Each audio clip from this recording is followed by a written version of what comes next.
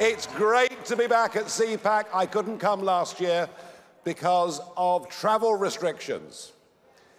Mercifully, though, and isn't it appropriate that CPAC is being held in Florida? The one state in the USA that, with Ron DeSantis as governor, maintained a sane and sensible policy whilst the rest of the world went mad. Well done, Ron DeSantis. Well done, Florida. Brilliant. It's just as well CPAC's not being held in Canada at the moment, where Mr. Trudeau has become, I think, the most authoritarian. You must all be half asleep. It's clearly been a long day. I said Justin Trudeau. well, that's a bit more like it. Canada, Australia, New Zealand, most of Europe still have the most terrible restrictions put in place. But I'm pleased to say that in England, sanity has finally prevailed. We are beginning to win, and all restrictions have been lifted. But the fight must go on. It isn't just about restrictions. We've got to stand up and fight for freedom of choice. We must go on fighting vaccine mandates every single time we get the opportunity. Our freedom is at stake and it matters. It's what our forefathers left us. We're not going to let global politicians take it away from us. And it's a fight that we can win, and it's a fight that we are going to win. Be in no doubt about that. But right now, the world is facing something even more immediate, something even more serious. And I guess there'll be a lot of Americans who quite understandably will say, Ukraine is a long, long way away. I would guess there are many in all of our countries who would struggle to point on a map to where Ukraine actually is. And I bet there are many Americans who say, just think what this country gave in World War I and in World War II. Think of the massive price that America paid to get Europe out of its problems. Well, the fact is, if America hadn't done things, Europe would have been unlivable for the last 75 years, and we owe America a massive, massive debt for our freedom and our liberty. Not that, uh, not that you'll ever hear that from a French politician who almost seem to resent what you did for them. So, what I'm about to say will perhaps to some ears sound unfair, but it's this Vladimir Putin is a nationalist Russian. He wants to get back, at least I thought, he wanted to get back the Russian speaking areas into his country. When it comes to those two eastern provinces in Ukraine, well, they are Russian speaking. I'd always thought that we were dealing with somebody who was actually very logical. But I now begin to wonder whether he is. Then again, of course, he's had nothing to fear, has he? The worst American president in the history of this nation. No question.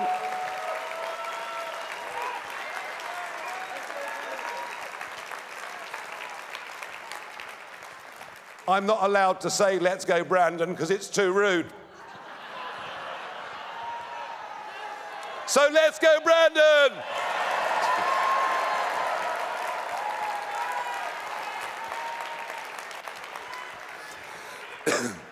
I am in no doubt that if Donald Trump had still been the president, that invasion of Ukraine would not have happened. I'm in no doubt about that. But it has happened. And if something's gone wrong with Putin, if he's lost logic and reason, it's not impossible to think that he'll want to go back to the days of Catherine the Great and the Tsarist Empire, and that Poland, Latvia, Lithuania, and Estonia are under threat. He also is probing at NATO, and I'll tell you why. This remarkable alliance that has worked since the late 1940s was put there to guarantee peace, has pretty much done a very good job over those years. But something happened last year. America withdrew from Afghanistan unilaterally without even consulting your closest ally in the world. And let's face it, we've been with America in virtually every major conflict, side by side you, since 1917. And what Joe Biden did without a phone call was to withdraw American troops from Afghanistan. And we're asking ourselves a question Do America still want to be the leaders of the Western world?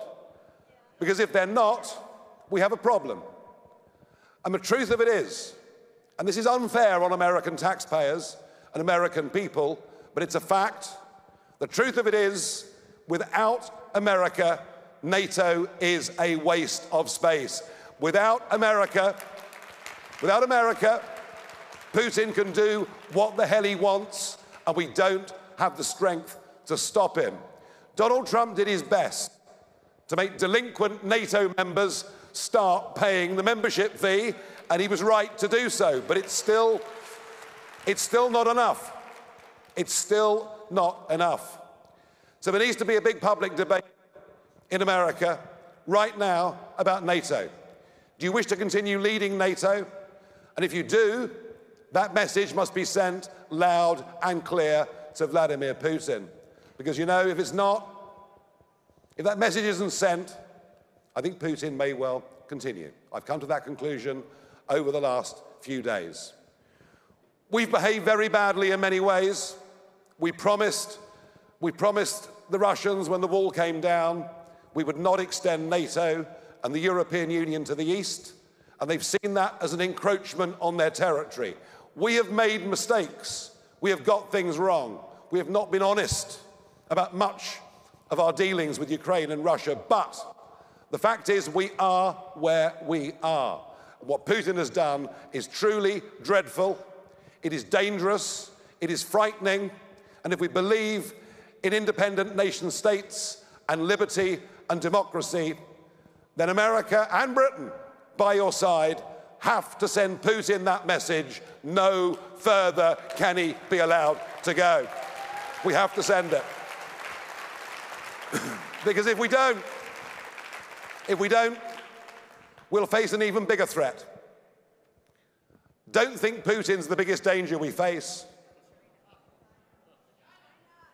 A friend of mine says it like this He says, China.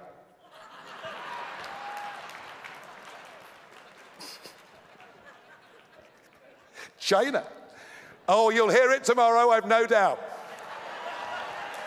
You will.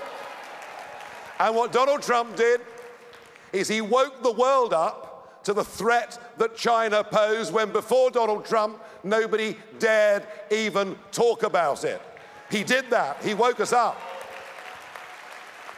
If China sees how weak we are, it could, within the next few months, and goodness me, Chinese state media this week has been broadcasting saying that Taiwan is part of China. If China takes Taiwan, you realize what that will do to us?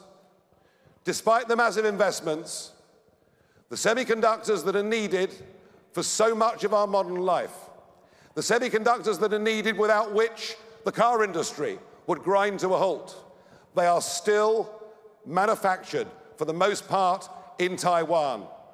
If China moves against the weak West, if China moves against the weak American president, oh, I think for him, weak's quite a complimentary word, really, but anyway. but if China moves and takes Taiwan, that will have disastrous consequences for all of us. So you see, however you feel sitting here right now, however uncomfortable you feel about this burden of responsibility that is on America's shoulders, you can see if we don't act, don't get this right, it will have catastrophic consequences. They're the enemies that we face outside, but we also face enemies inside. Our universities have been turned into madrasas of Marxism, determined to indoctrinate and poison our young people, determined to turn the population. Is it not working? Is that better? Good. Would have thought CPAC could have got the kit right, but anyway. Our young people are being poisoned. We're being turned against ourselves. Whilst these great threats, these great global threats that I'm talking about are happening, we're still busy teaching people to feel guilty about being white. We've still got corporates giving money to an openly Marxist organization that wants to defund the police force and bring down Western civilization. And yet the corporates bow down. We're all supposed to take the knee to an organization called Black Lives Matter, and nobody seems, very few people have got the courage to stand up and to fight that. So we have that problem within that we have to fight. And I know many of you are doing it. You're running for school boards, you're getting involved, and that's great. But if we're going to make the world a better place, if we're going to keep our history, our heritage, our culture, if we're going to defend Western civilization, this is the battleground. It's America. Because if America falls, the whole of the free world will fall. You've got to win this fight, and to do that, to do that, you've got to take back the House. You've got to take back the Senate. You've got to take back in 2024 the presidency of the USA. And you can do it. You can do it. The Democrats are making a complete mess of everything, but don't underestimate their machine. Don't underestimate their discipline. Don't underestimate how well funded they are. And to beat them, all we need is the silent majority to stand up and say, I am going to do something. I am going to make an effort. I am going to join an organization. We need you. Well, all of us in the free world need you to win this.